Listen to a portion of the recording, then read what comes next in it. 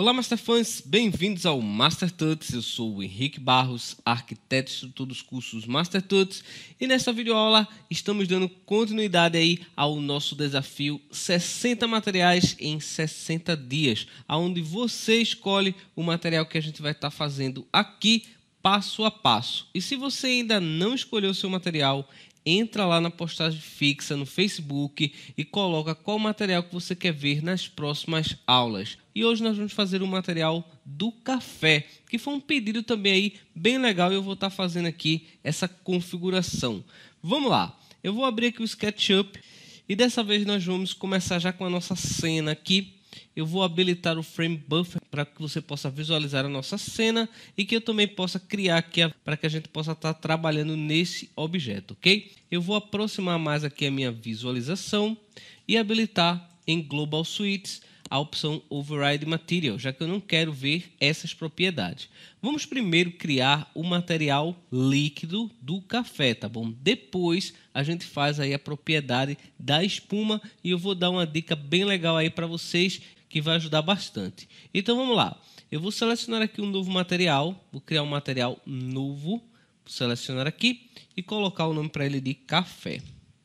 Ok, vamos dar uma cor para ele aqui qualquer, tá bom? Essa cor aqui ela não vai influenciar na nossa visualização, mas vai servir para ver aqui na cena durante a etapa que eu não tenho textura. Então vou clicar aqui em OK, vou selecionar esta face até entrar no grupo aqui, olha, e aplicar no objeto. Vamos até o editor de materiais do V-Ray e agora vamos adicionar aqui logo nessa propriedade a configuração do layer V-Ray BRDF e no Options do material vou desligar Can Override, uma vez que eu quero ver aqui o material renderizando na cena. Vamos até a opção de Fios e vamos marcar também A Color, deixando ele totalmente branco, ok? E clicar em OK novamente, desmarcando aqui Use Color Tester. Bom, até esse momento aqui o que nós temos é o seguinte: temos um material aplicado e ainda não temos nenhuma propriedade. Eu vou salvar primeiro essa cena para que a gente possa estar tá trabalhando nela e vou renderizar para que a gente possa ter um ponto de partida aqui no material. Então, render para ver o resultado. Vamos lá. Ok, essa aqui é uma primeira visualização. Eu vou selecionar o Region Render para poder visualizar apenas essa área. E agora nós vamos colocar as propriedades para esse material. Primeiramente, aqui no BRDF, eu vou configurar o reflexo, colocando o valor em 100% branco tá bom? Vou deixar ele totalmente reflexivo. E na opção Glossness eu vou colocar vírgula 91, ok? A gente vai ter um reflexo e a gente não vai deixar ele tão nítido. Nas propriedades de refração eu vou fazer a mesma configuração aqui para a cor, colocando o valor em 100%. No momento eu tenho um objeto totalmente reflexivo e totalmente transparente. Para que a gente possa ter a cor do líquido, nós vamos modificar a configuração Fog Color. Então, nessa configuração, você vai dar a cor para o café. Nós vamos digitar aqui os seguintes valores: 104, o valor de 42 e o valor 0. E clicar em OK. Perfeito. Vamos ter já aqui uma cor para o material. Você vai perceber que ele vai aparecer totalmente preto aqui. Então, aí a gente vai ter essa propriedade. Para que a gente possa ter o líquido da forma correta e trabalhar com as configurações ideais, nós vamos também modificar a propriedade de translúcido. Nessa configuração, eu vou dizer para o material que eu quero que ele não seja totalmente transparente, tá bom? Então, vou configurar aqui para a opção Soft e vou modificar a cor também. Nós vamos colocar os seguintes valores para essa configuração: 86, 34 e 0. E clicar em OK. Vamos também modificar a propriedade thickness. Vamos colocar aqui o valor base de 2540 e eu vou colocar aqui para o coeficiente o valor 1. OK. Vamos deixar ele com essas configurações e vamos renderizar novamente o nosso material. Tá, vamos lá. Já temos aqui o nosso material com a propriedade correta Observe que eu em nenhum momento usei nenhuma tonalidade aqui próximo ao amarelo, mas ele criou esse efeito aqui, olha, que é o efeito que se aproxima bastante aí, que a gente realmente vê nesse líquido. Como a minha xícara não é transparente, eu não consigo ter a ideia aqui de gradiente, tá bom? Mas aí o efeito ele fica bem legal e aqui nós já temos a configuração base. O que falta agora é criar a próxima etapa, que é desenvolver a ideia da espuma nesse objeto. Essa etapa vai se tornar um pouco mais complexa se você não tiver o mapeamento correto. Esse mapeamento é criado a partir da própria imagem, mas geralmente você não tem texturas disponíveis para que você consiga essa qualidade. É por isso que eu vou deixar para download duas texturas que a gente vai usar aqui. A primeira textura é essa imagem. Mesmo que ela tenha aqui algumas cores, isso não vai influenciar na minha visualização, ok? E a segunda opção é essa textura que eu tenho aqui, olha.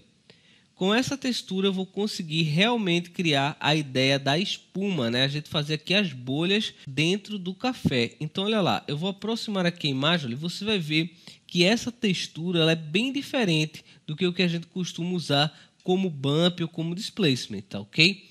Então é por isso que a gente vai utilizar essa textura em especial para que a gente possa conseguir o efeito correto aí. Então vamos lá, vamos voltar aqui no SketchUp e agora eu vou mapear a minha textura sobre esse objeto. Vou selecionar aqui a configuração, vou adicionar a textura aqui no meu canal Diffuse, vou até a minha pasta aqui pegar a textura Diffuse, clicar em OK e deletar aqui o Diffuse original que a gente tem, tá bom? Agora eu não preciso mais dessa configuração. Ok, a minha textura vai começar a aparecer aqui, porém a gente não está vendo nada ainda porque ela não está mapeada corretamente. O que nós vamos fazer é usar o Sketch UV para poder conseguir ter o melhor mapeamento. Então, duplo clique, botão direito do mouse e você vai escolher a configuração planar. Ok, olha lá, ele já ficou correto aqui, olha, o mapeamento aí certinho para que você possa estar tá trabalhando no seu projeto. Ok, vamos renderizar mais uma vez essa cena, agora adicionando essa propriedade para que a gente possa ver a diferença. vou abrir aqui o Frame Buffer, vou selecionar apenas uma parte dessa textura e renderizar.